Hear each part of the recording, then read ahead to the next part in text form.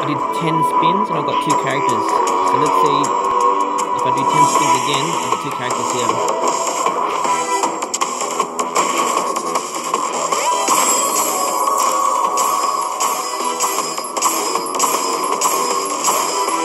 I got one character. Not a very good character as well. And this is not, is not blacked out.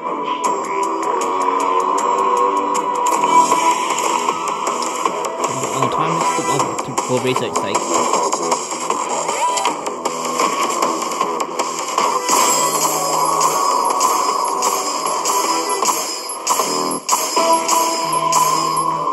Look at that.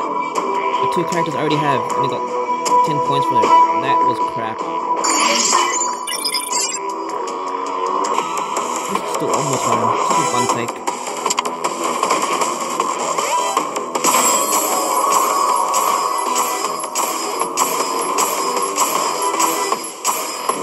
Uh, I already had him as well, did I? No, I didn't. I don't. He's a, he's a good character to have. Because you start the round with an extra... Uh, I can't remember. Let's have a look. So on my other... I got three accounts. On my other account, I have all the characters. I got, I got four accounts actually. And um, this account, I don't have that character.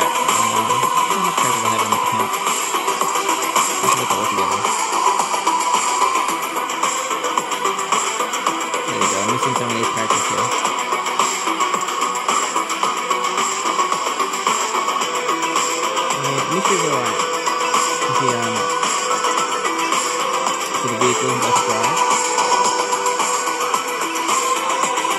Is good because she increases accuracy scoped in, so good for snipers.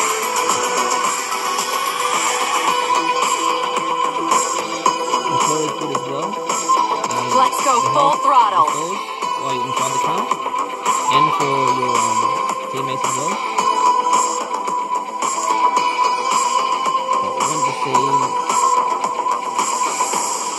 Yeah, 25 and get extra HP when the round starts. So that was a good one. And we'll level him up.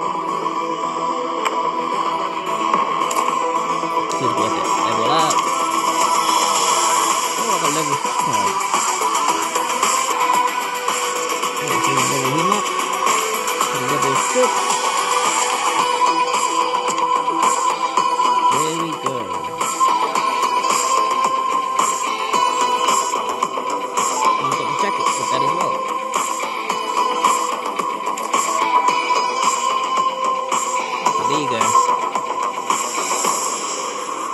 So if you guys wanted to know what you can get out of it.